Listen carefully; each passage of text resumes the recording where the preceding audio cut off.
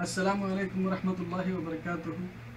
ہماری طرف سے سارے استادوں کو استرادی عقیدت۔ شفقت اور احترام کے تانے بانے سے بنا ہوا استاد اور شاگرد کا یہ رشتہ کس قدر مقدس اور خوبصورت ہے۔ ایک اچھے استاد کی مثال کمہار اور جوہری سے دی جا سکتی ہے۔ کمہار جس کے ہونہار ہاتھوں میں آ کر کچی مٹی حسین برتن کی شکل میں ڈھل جاتی ہے۔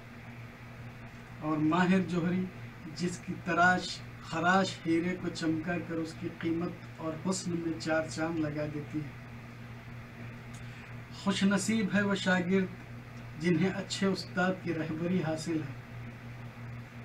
دور حاضر میں آ کر استاد اور شاگرد کی محبت کا اٹوٹ رشتہ اب ٹوٹ سا گیا ہے۔ اب نہ وہ خطرے ہیں اور نہ وہ جذبے ہیں۔ نہ وہ احترام ہے، نہ وہ شفقت ہے۔ نہ اب وہ استاد ہے اور نہ وہ شاگرد ہے۔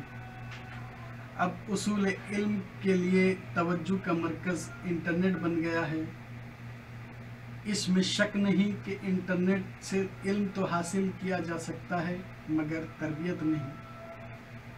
آج وہ پارس جیسے استاد بھی کہاں جو لوہے جیسے شاگرد کو سونا بنا دیتے ہیں۔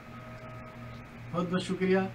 اللہ سبحانہ تعالی ہمارے سارے استادوں کو ہمیشہ خوش رکھے، دین و دنیا کی ہر خوشی عطا کرے، علم، حکمت، ہدایت، دولت نور سلامتی، خوشیاں خوشیاں عطا کرے۔ جزاک اللہ خیر۔ السلام علیکم و اللہ